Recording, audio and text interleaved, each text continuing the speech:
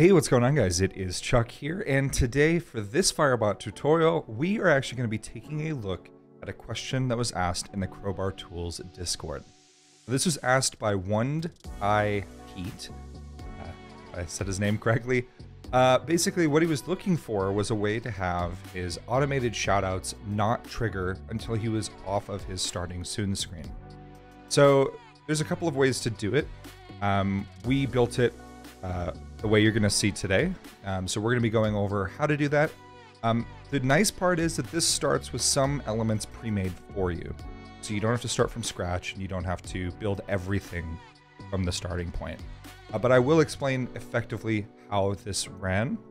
Um, now, a few days ago, I actually streamed the creation of this Firebot setup. So setups are something you can install into your Firebot that comes with queues, uh, effect lists, um, events, things like that. Um, we have one linked down below that you can get from Discord specifically for here. So again, you don't start from zero. Um, but I do want to say, before we jump into the video, uh, thank you so much for everyone who has uh, commented, asked questions, joined the Crowbar Tools Discord. A lot of you have actually come by my stream and said hi. Um, I really appreciate it. I hope you guys enjoy these tutorials. There's going to be a lot more coming out. Uh, I have a bunch recorded.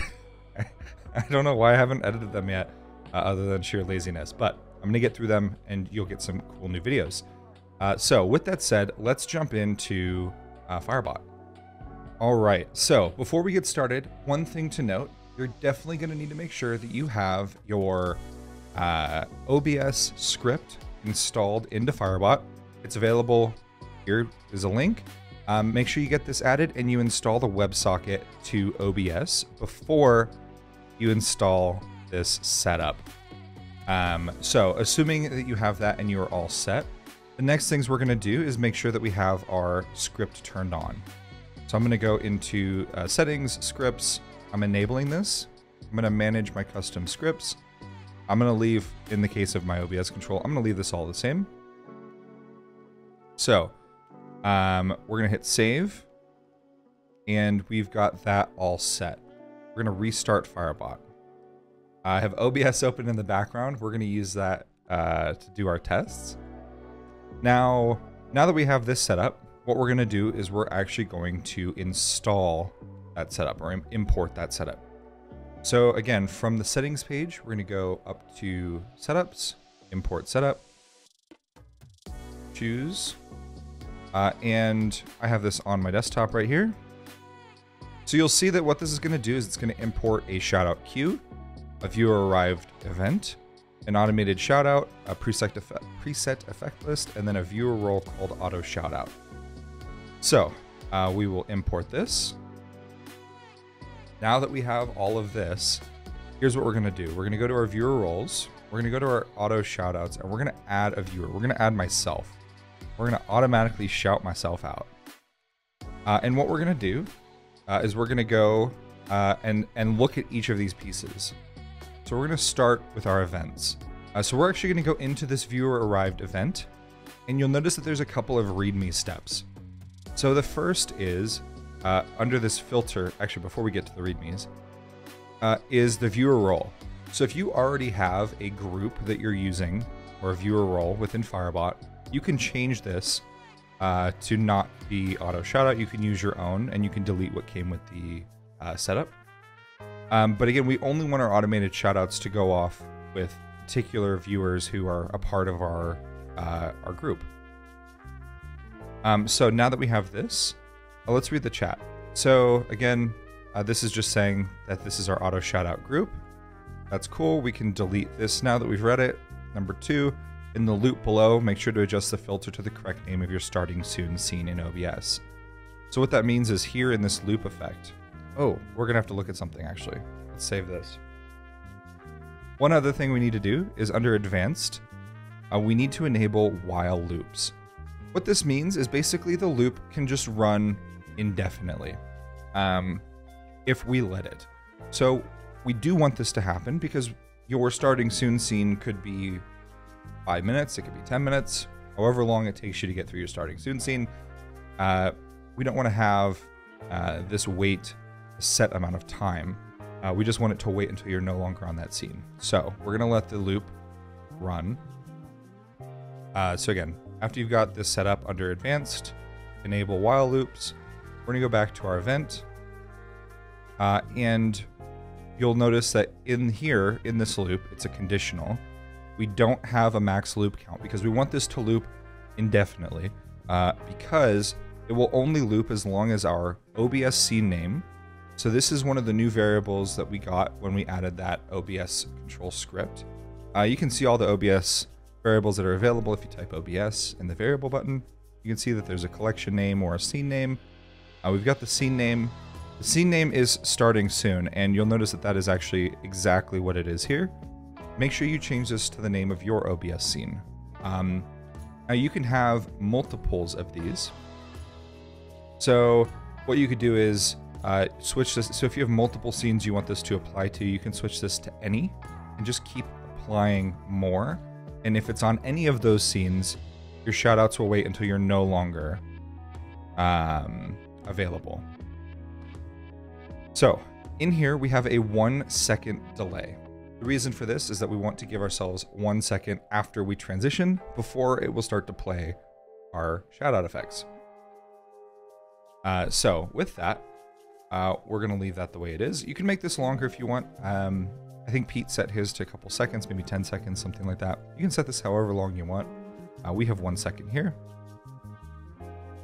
And then what happens is when a viewer arrives in your stream and they're a part of this role, when they uh, trigger this, basically the first time they chat, if I'm on my starting soon scene, I'm getting paused right here.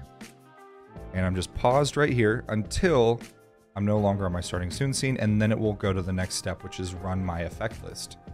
Now this is a preset effect list that's called automated shoutouts. What I'm doing is I'm passing in the username of the viewer who arrived. So this is the user who triggered this event. So we're gonna pass in their username to my shoutout automated effect. Now it's important, you need to make sure that this is checked, so or unchecked rather.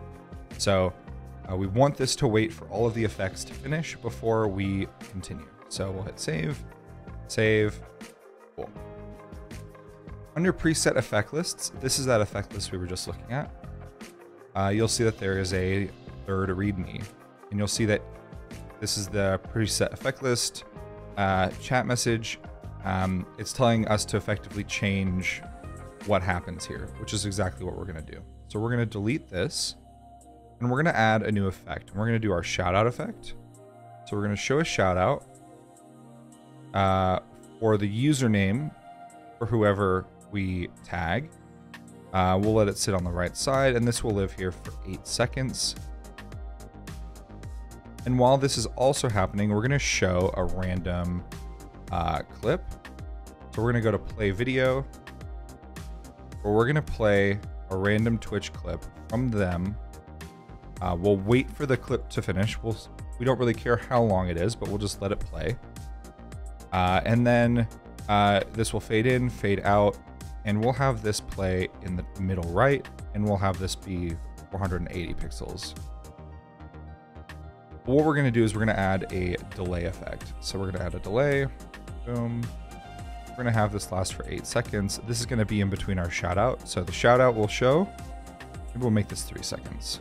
Three seconds. Three seconds. And then we'll play the video.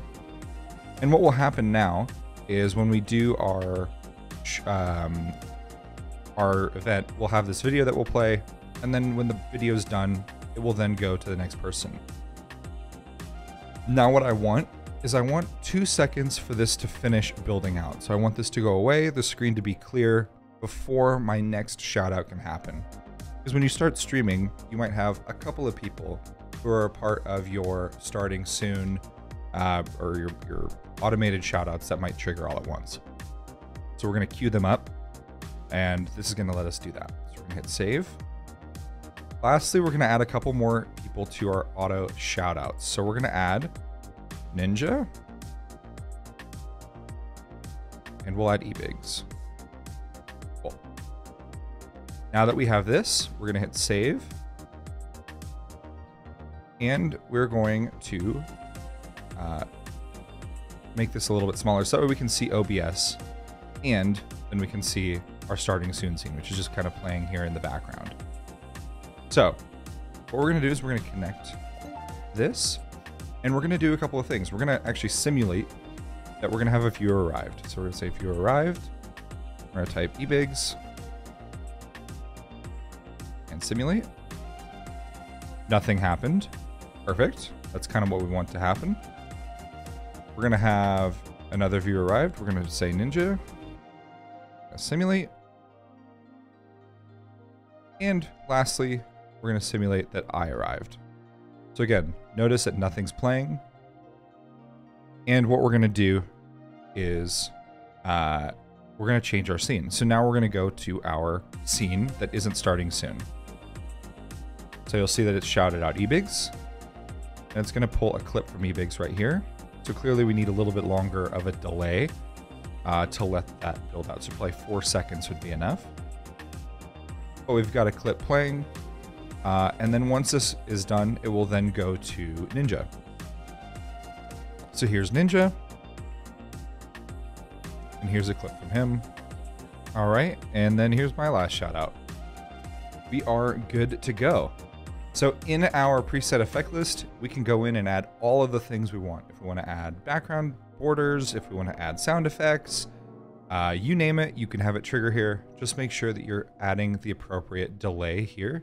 So if we add five seconds, that should be plenty of time between when the show shoutout effect builds out, which takes about a second, I think, uh, to when the video will play. So I hope this video was helpful. Again, the link to download the setup so that way you can get started without having to build everything yourself is linked down below. You can get that from the Crowbar Tools Discord. Uh, thank you guys very much for watching. If you liked the tutorial and want more things like this, hit that like button so that way I know and YouTube recommends it to more people. And leave a comment down below if there's a specific thing you'd like me to make a video on. So if you want to see more specific use cases like this, uh, if you want more things where there's some pre-built element that you can just configure yourself, let me know that too. Um, but thank you all very much for watching. I love you guys' faces, and I will see you guys in the next video. Bye!